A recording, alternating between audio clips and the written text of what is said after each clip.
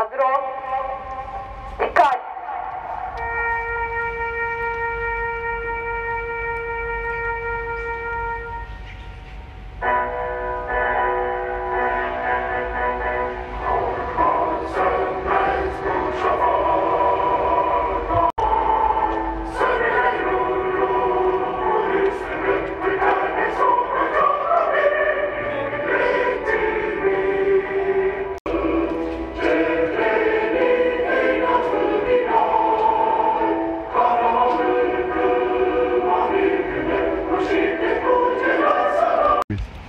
Evet, e, biliyorsunuz e, yaklaşık bir yıldır e, bir salgın dönemi yaşıyoruz ülkemizde.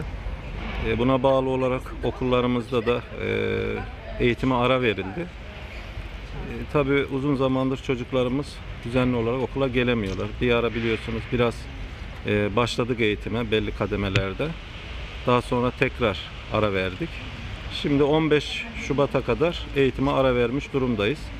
Tabi uzun zamandır okullarımızda İstiklal Marşımız okunmuyor.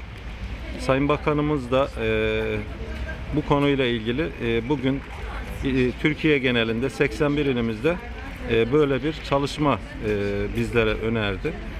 E, okullarımızda yani Düzce'deki de hem de Türkiye'deki tüm okullarımızda bugün yalnızca okuldaki personelin katılımıyla İstiklal Marşı töreni düzenledik. Yeniden İstiklal Marşımızı duyalım diye.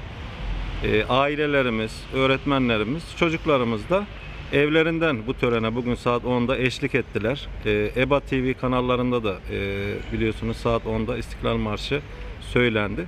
Biz de bugün Namık Kemal İlkokulumuzda arkadaşlarımızla birlikte İstiklal Marşımızı okuduk.